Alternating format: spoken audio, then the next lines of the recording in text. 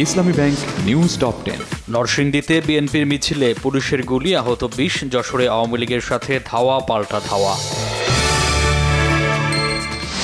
বিশ দলীয় জোট এখন অকার্যকর, মন্তব্য জামাত আমির ডাক্তার শফিকুর রহমানের। আনুষ্ঠানিকভাবে জানানো হয়নি, বললেন জোটের সমন্বয়ক নজরুল ইসলাম খান। এখন থেকে দলীয় কর্মসূচিতে আঘাত এলে পাল্টা আঘাত, হুঁশিয়ারি বিএনপি নেতাদের। আবার হাসপাতালে ভর্তি বেগম খালেদা জিয়া। চলছে প্রয়োজনীয় পরীক্ষা নিরীক্ষা। জামাত জোট ছাড়ায় বিএনপির বড় উইকেটের পতন হয়েছে মন্তব্য আওয়ামী লীগ নেতাদের।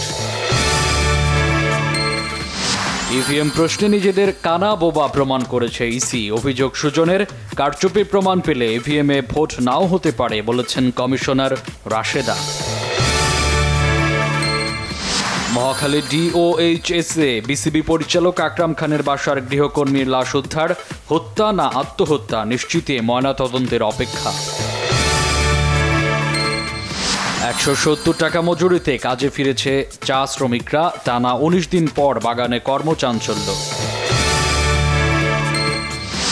নিয়ম না মেনে তৈরি করায় সুপ্রিম কোর্টের নির্দেশে ঘুরিয়ে দেওয়া হলো উত্তরপ্রদেশের নয়ডা শহরের বত্রিশ তলা জোড়া ভবন।